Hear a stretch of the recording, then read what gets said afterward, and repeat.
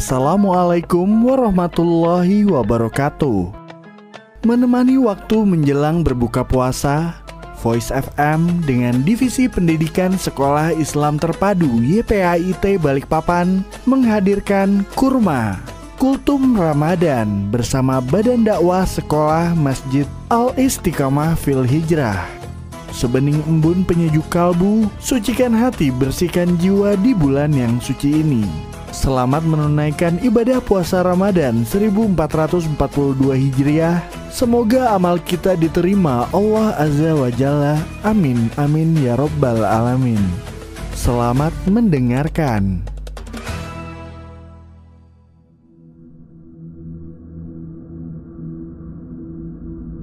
Bismillahirrahmanirrahim Assalamualaikum warahmatullahi wabarakatuh Alhamdulillah Alhamdulillahi rabbil alamin نحمده ونستعينه ونستغفر ونعوذ بالله من شرور أنفسنا ومن سيئات أعمالنا من يهده الله فلا مضل له ومن يضلل فلا هادي له أشهد أن لا إله إلا الله وأشهد أن محمدا عبده ورسوله Alhamdulillah segala puji hanya milik Allah Subhanahu wa taala.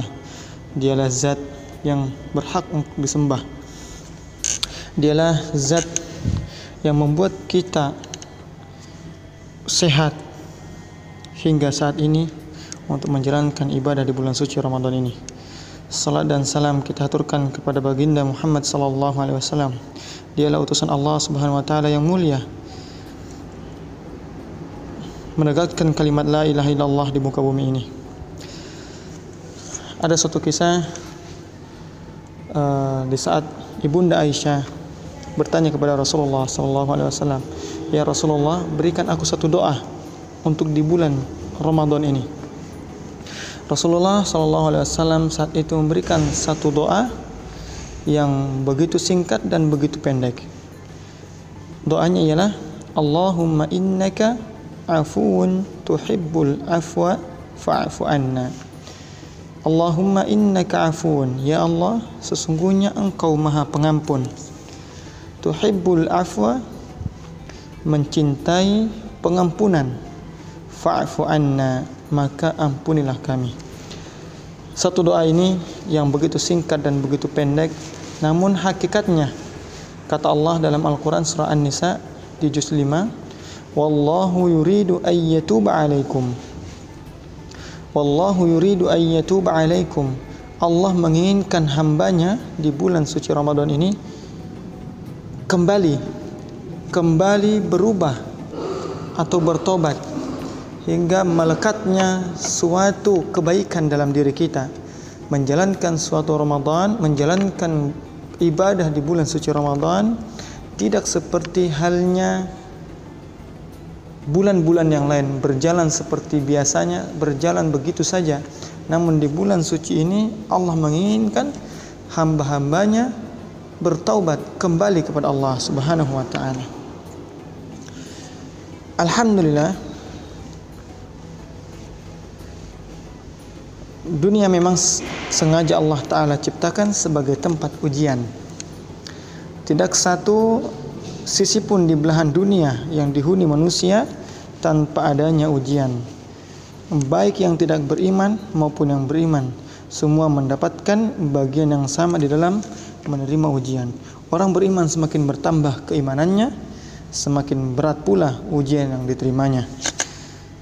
Semua bentuk ujian dari semua sisi, baik berupa kekayaan, dari harta maupun kekurangan harta.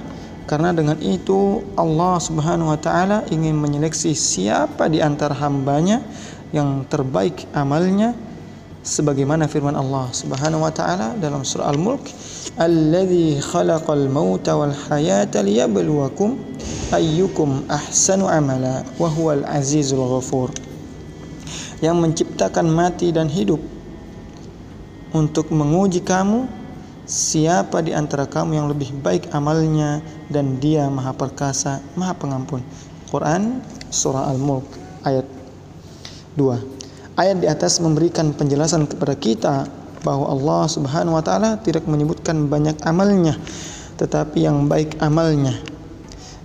Di bulan suci ini mari kita memperbaiki diri kita kembali kepada Allah untuk mengerjakan hal-hal yang baik, amalan-amalan yang baik. Semoga amalan-amalan itu diterima oleh Allah Subhanahu wa taala. Baik menurut para mufassir adalah sesuai perintah Allah dan contoh nabinya nah, amalan-amalan yang telah dicontohkan nabi. Artinya kualitas lebih utama daripada kuantitas. Namun jika kualitas sudah baik ditambah dengan, dengan kuantitas itu yang paling utama. Namun di balik ujian berubah banyak kesulitan dan penderitaan ada kemudahan yang mengeringinya insya Allah. Seorang mukmin tentu berbeda dalam menyikapi berbagai kesulitan. Kesulitan hidup yang menghadapinya, mereka memahami bahwa kesulitan atau ujian diberikan oleh Allah Subhanahu wa taala dalam rangka menguji hambanya dan mereka tahu bahwa kesulitan itu dibuat untuk membedakan antara mereka yang benar-benar beriman dan mereka yang memiliki penyakit di hatinya yaitu mereka yang tidak tulus dalam meyakini keimanan mereka. Karena itu, ujian atau kesulitan yang hadir dalam kehidupan kita akan menunjukkan siapakah kita sebenarnya. Allah Subhanahu wa taala menjelaskan melalui firman-Nya bahwa Dia akan menguji manusia untuk melihat siapakah yang benar-benar beriman. Di dalam Al-Qur'an Allah Subhanahu wa taala berfirman, "A'udzu billahi minasyaitonir rajim." Am hasibtum an tadkhulul jannata wa lamma ya'lamillahu alladhina jahadu minkum wa ya'lamas sabirin. Apakah kamu mengira bahwa kalian akan masuk surga padahal belum nyata bagi Allah Subhanahu wa taala orang-orang yang berjihad di antaramu dan belum nyata orang-orang yang sadar dan belum nyata orang-orang yang sabar. Quran surah Al-Imran ayat 142 dinamika hidup yang sering kita lalui dan kita jalani roda-roda kehidupan pun akan terus berputar. Keadaan akan selalu berubah, keadaan di atas kadang di bawah. Begitu juga setiap orang pasti mengalami hal tersebut seperti sebuah sunnatullah. Setelah lapar ada kenyang, setelah haus ada kepuasan. Setiap kegelapan akan terang menderang dan setiap kesulitan ada kemudahan. Wahai sahabat, rahimakumullah. Janganlah bersedih sesungguhnya bersama kesulitan itu ada kemudahan. Fa inna ma'al usri yusra. Karena sungguhnya sesudah kesulitan itu ada kemudahan. Rasulullah Shallallahu Alaihi Wasallam pun pernah mengalami berbagai cobaan dalam hidupnya, penganiayaan, cacian, pemboikotan pun pernah beliau rasakan.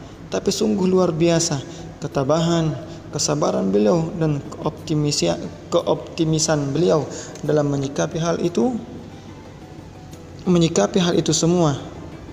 Ibnu Jarir yang bersumber dari Al Hasan dalam buku riwayat turunan ayat-ayat suci Al-Quran berkata ketika ayat 5 dan 6 surat Al-Insyirah turun Rasulullah Shallallahu alaihi wasallam bersabda bergembiralah kalian semua karena akan datang bagi kalian kemudahan kesukaran tidak akan mengalahkan dua kemudahan.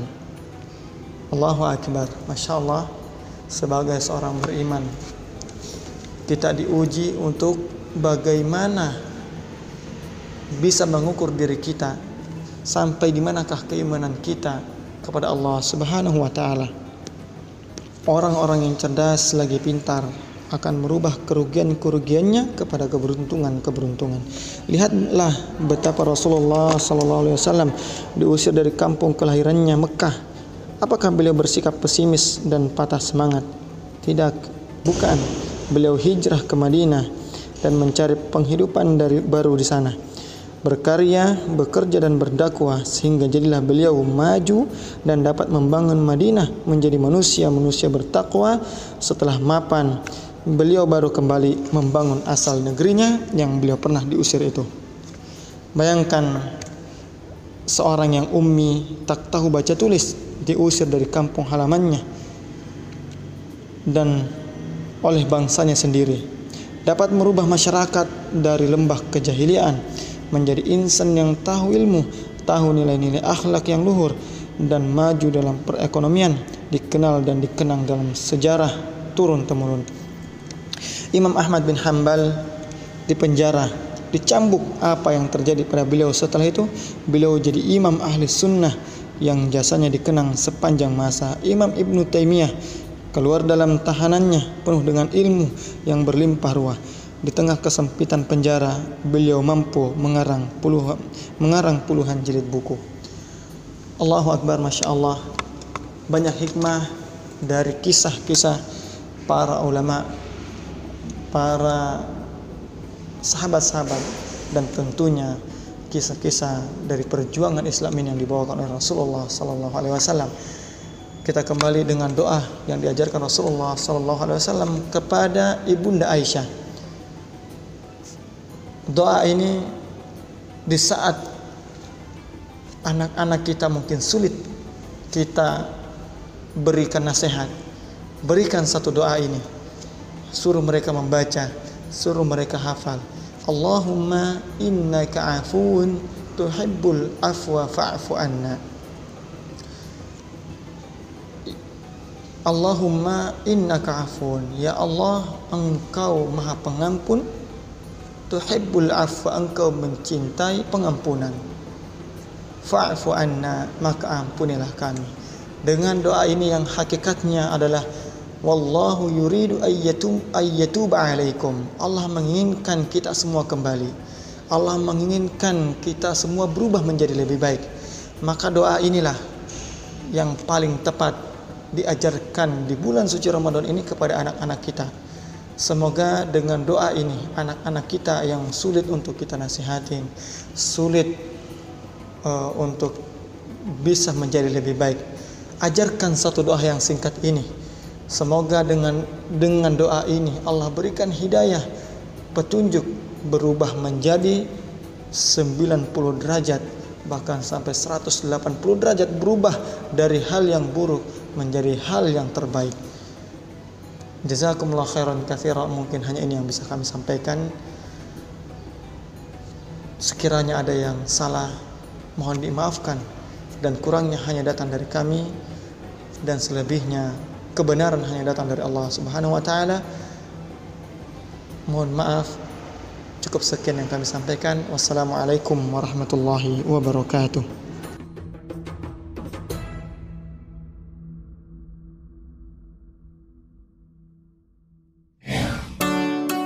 Voice FM nemenin Ramadan kamu. Senyum Ramadan di Voice FM.